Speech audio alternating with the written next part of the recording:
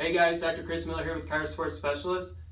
I'm going to show you what we do in the office here for lower back pain. So we're chiropractors by trade, so we do adjustments and manipulations, but what sets us apart from other chiropractors is we do a lot of soft tissue work, specifically active release technique. So I'm going to go through a quick little treatment here that we do for lower back pain. I'm just going to check the hips. And a lot of times what we see in the hips is tightness which causes lower back pain. So I'm going to go through the hip flexors here and just do a little bit of soft tissue work just to feel where there's any restrictions or tightness. So then from there I'm going to go through and do some active release technique.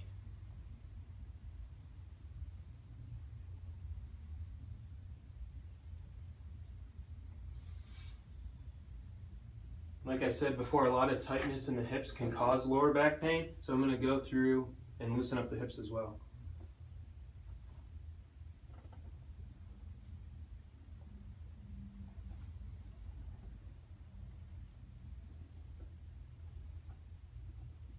Okay, turn on your side this way. So next what I'm going to do is work on the back side of the hip, the deep rotators again, when they're tight, can also put stress on the lower back.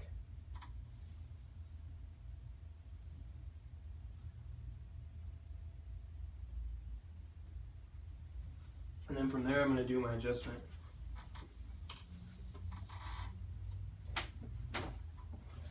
Okay, flip on your back. So if you have back pain, check us out, chirosportspecialist.com. We'll see you next time.